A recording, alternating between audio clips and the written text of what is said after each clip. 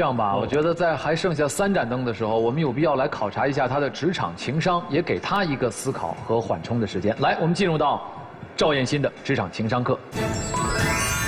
来看看屏幕，离职后你会默默退出公司群，还是说一些感谢的话再退群呢？说一些感谢的话再退群。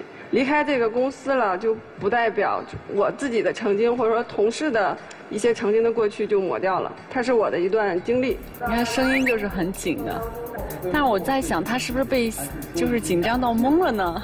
呃，这样的情况其实，在很多公司都有出现过。但是，我觉得站在老板的角度来说，不一定都希望每一个员工离开公司的时候，无论他是哪种情况，都在群里发表一番感言，因为这一番感言有可能会引起其他的骚动。所以，我不认为说一定要说这个选择是一个必然选择。可能这个视角是我希望听到人力和行政站在老板和公司的角度能够考虑的维度。那我觉得你可以这么回答杜远志。如果我作为人力或者行政的话，我会在这位同事离职以后，主动的把他踢出公司的群，就不必引起骚动了，也免去了他绞尽脑汁想措辞的一种尴尬。我们公司就是在办离职手续的时候，一定会跟他讲说，那什么时间点我就会把你自动从群里踢走。对，这也是一种方法。说了这么多哈，说了半天。